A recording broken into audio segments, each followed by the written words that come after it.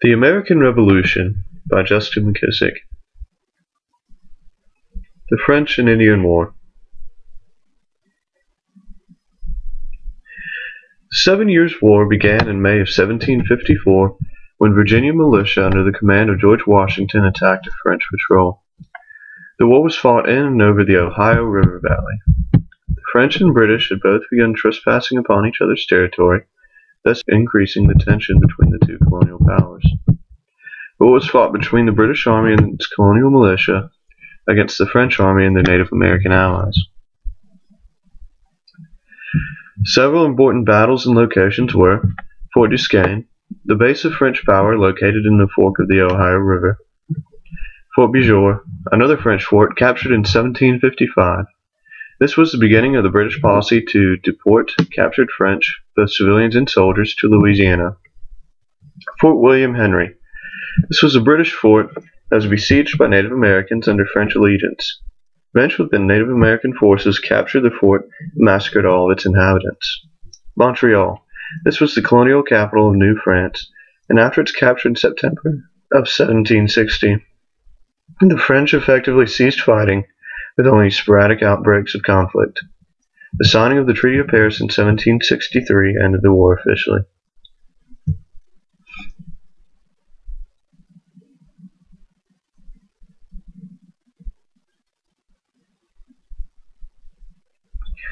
Post-French and Indian War colonies.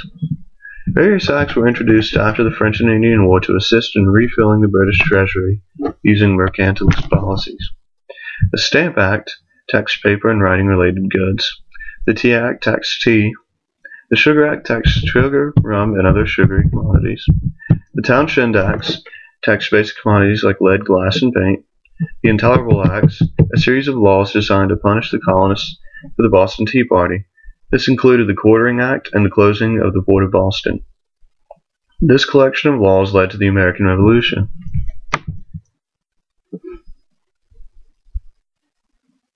The American Revolution. The war began in April of 1775 when British forces that had landed and taken over Boston marched to the towns of Lexington and Concord to seize an armory that was in the possession of the colonial militia. The following battle was a rout for the British, who upon entering both towns were ambushed by militia, termed Minutemen. As they withdrew from the battles, they were repeatedly ambushed by Minutemen, resulting in heavy British casualties.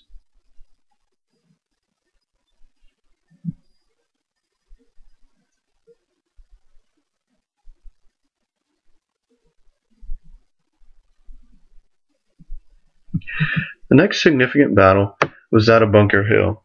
The Continental Army had a position outside of Boston, the Charlestown Peninsula. British General Howe besieged the detachment of Bunker Hill and suffered massive casualties taking it. The famous term, don't fire until you can see the whites of their eyes, was coined here. The next two significant battles were those of Brooklyn Heights and Trenton. The British general Howe besieged the city of New York in 1776, and Washington managed to withdraw his entire army of 20,000 in one night. In the Battle of Trenton, he returned by crossing the Delaware under the cover of darkness and captured 1,000 Hessian mercenaries the British had hired.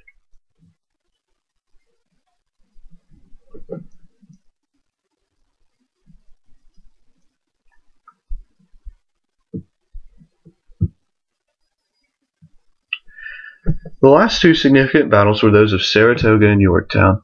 The Continental Army was victorious at Saratoga, effectively bringing the French into the war on the side of America.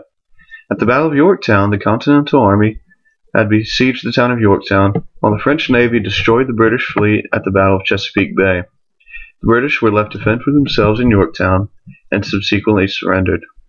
Lord Charles Cornwallis was the surrendering commander, while George Washington was the victorious commander.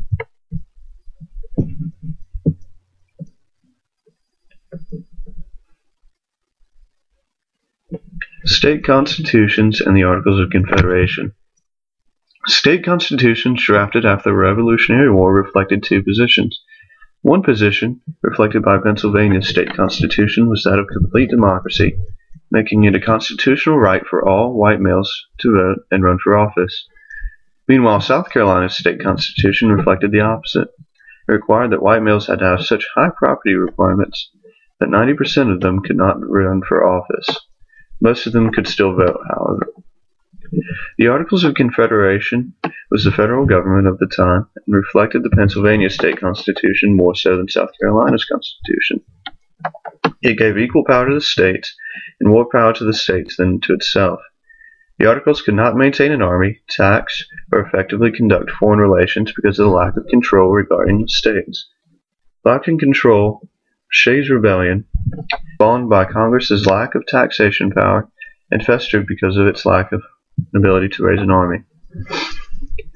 The Constitution. The Constitution of the United States of America is its current and most effective governing document. It was born out of a necessity for an effective governing document it was a compromise on many fronts, from slavery to legislative power. The Three-Fifths Compromise was a compromise between slave and free states over the representation of slaves. It dictated that slaves be counted as three-fifths of a person. The Great Compromise, or Connecticut Compromise, was a compromise between large and small states over whether population should be counted as the measure for the amount of legislative seats a state could have. There were the Virginia and New Jersey plans, one calling for population and one calling for equal representation. Eventually, a compromise was reached by creating two legislative bodies, the Senate and the House of Representatives, being equality and population based respectively. The last compromise was that of personal freedom. The Bill of Rights was composed of the first ten amendments to the Constitution and grants freedoms to both individuals and states.